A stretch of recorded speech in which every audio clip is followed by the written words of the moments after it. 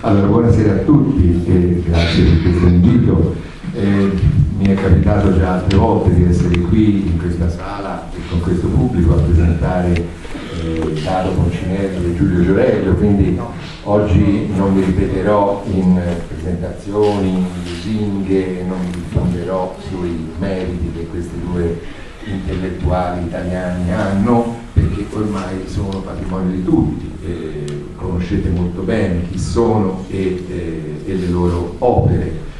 Eh, vorrei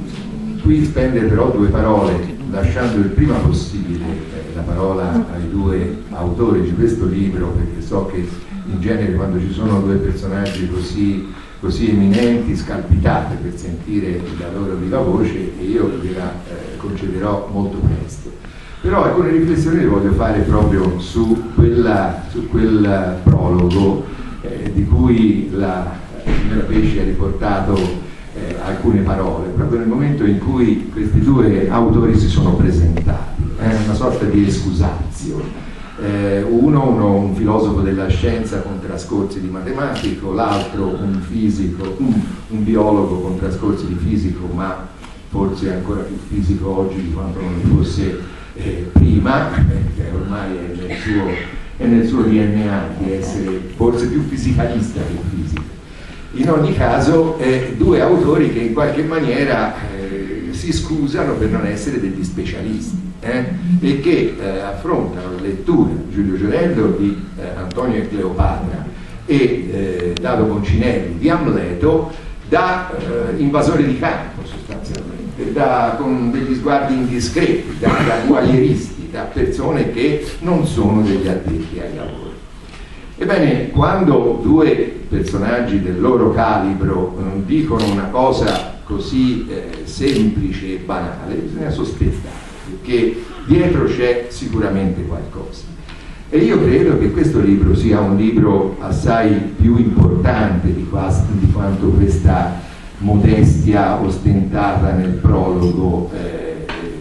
voglia far credere, perché non è un cimento, un diletto eh, di due scienziati e di, di, due figure eh, che insomma, si sono cimentate anche con la filosofia, con la storia delle idee, eccetera, in un campo che non è il loro. C'è qualche cosa di più qui dentro che eh, vorrei brevemente sottoporre, eh, se è un'interpretazione corretta, ai due autori. Eh, ricordando a tutti voi, ma eh, vedo che più o meno siamo molti coetanei, quindi eh, molti di voi avranno avuto le stesse esperienze che abbiamo avuto noi e non è che le nuove generazioni abbiano delle esperienze migliori delle nostre da questo punto di vista. Noi siamo abituati a vivere in una cultura dove eh, ci sono degli steccati e dei confini fra le discipline praticamente invalicabili. E eh, anche i nostri ordinamenti universitari mai corretti con tutte le leggi che si sono susseguite anche nella, eh, nel secondo dopoguerra hanno mai, eh, ci hanno mai dato la sensazione che la cultura fosse una sola. Perché sempre tutti dobbiamo obbedire a dei canoni a, a, una precettistica, a un qualche cosa che in qualche maniera ci obbliga a essere o un critico letterario o un filosofo o uno scienziato, eccetera, eccetera. Eh, vi faccio il caso di Gilberto Sacerdoti, che è un autore che sicuramente eh, è caro a Giulio Giorello perché ha scritto due libri veramente eccezionali su Shakespeare, il teatro elisabettiano in genere e la rivoluzione scientifica. Bene, Gilberto Sacerdoti, Sacerdoti ha vinto la cattedra molto tardi nella sua vita. Era un filosofo a Bologna e lui si, sent si, sentiva ripetere la sentenza che molti di noi, ahimè, abbiamo anche pronunciato, cioè sì, bravo, molto bravo, ma non specifico. Eh? Non, non, è uno storico della letteratura inglese, eh? è cosa di diverso. Guardate che questo eh, se ne può parlare anche aneddoticamente di queste cose, si possono anche fare delle battute, ve ne voglio citare un'altra di cose molto recenti. Un nostro concittadino fiorentino ha scritto recentemente, molti di voi lo sanno, un libro sull'assassinio di eh, Giovanni Gentile. Eh, questo signore è uno psicologo, è uno storico della psicologia ed è stato insignito del premio Acquistoria. Apriti cielo gli storici sono insorti perché uno psicologo, e guardate non ce l'ho con gli storici perché i filosofi avrebbero fatto di peggio, e sono insorti e per rimediare all'ultimo momento hanno dato un ex equo a uno storico, perché uno psicologo insomma, non poteva andare a prendersi un premio che di diritto spetta agli storici, qualsiasi sia l'oggetto della eh, ricerca e dello studio di questa cosa. Ecco, Dato Boncinelli e Giulio Giorello, approfittando della eh, loro invulnerabilità, un po' perché sono anche fuori dall'università uno in procinto di esserlo, un altro, si possono permettere queste scorribande, ma che come vi dicevo prima non sono delle scorribande, sono dei messaggi molto chiari alla nostra cultura. Ehm, noi tutti ricordiamo che c'è stato un momento, gli anni anche della mia formazione, gli anni 70, in cui c'era una guerra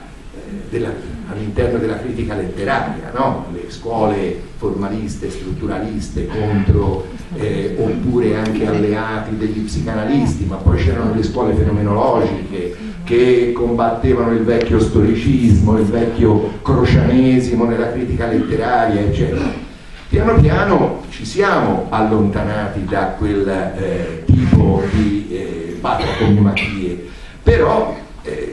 che, con che cosa siamo rimasti? Siamo rimasti ugualmente con i settori disciplinari chiusi, con degli orti conclusi che non comunicano. La critica letteraria è critica letteraria, quando in giro per il mondo, soprattutto nel mondo anglosassone che eh, è da sempre più aperto eh, di noi, eh,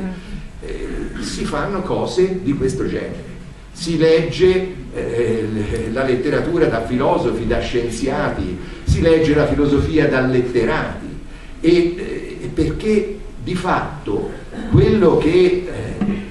è uno degli imperativi che ormai credo siano condivisi da tutti è che la cultura è un patrimonio universale e la cultura parla di se stessa con i mezzi che ha. Lo sapeva Aristotele, abbiamo dovuto dividere la cultura e frammentarla per dimenticarsi. Da una parte uno degli assunti fondamentali di Aristotele, che conoscenza e piacere erano un tutt'uno, anzi la conoscenza era il massimo del piacere, eh? portava all'eudaimonia. E dall'altra parte che la conoscenza era una sola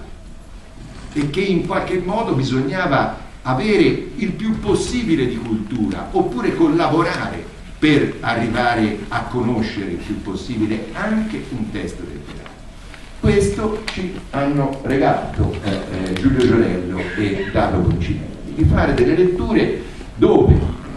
emerge soprattutto nel dialogo finale fra di loro, si prendono delle occasioni per dibattere eh, filosoficamente, scientificamente, per dare un contributo, ma quello stesso contributo che anche il Gilberto Sacerdoti aveva dato da eh, storico delle idee, da persona che conosceva bene Bruno e Bruno in Inghilterra, eccetera, e arrivava a capire molto profondamente i testi di Shakespeare, ancora di più di quanto non potesse fare un filologo o un critico eh, letterario che si eh, limitava e si concentrava alla forma, ma anche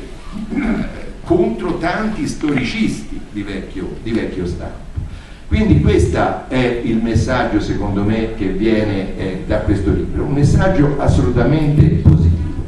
La, la cultura è una e mh, mm, in tutte le loro opere Giulio Giorello che è un vagheggiatore della Repubblica del che si è sempre cimentato anche in uno stile filosofico che ricorda molto l'illuminismo, che è stata l'unica epoca della nostra uh, storia, della cultura occidentale che somiglia un po' a quella che vagheggiano i nostri due autori. Eh, si parla eh,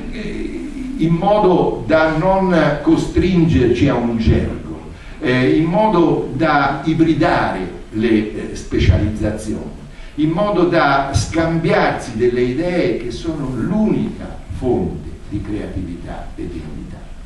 E questo testo, infatti, ci porta alla fine a riflettere in una maniera diversa sul teatro, per esempio. Ecco, il tema centrale di questo dialogo e di queste due riflessioni è il teatro, quello che eh,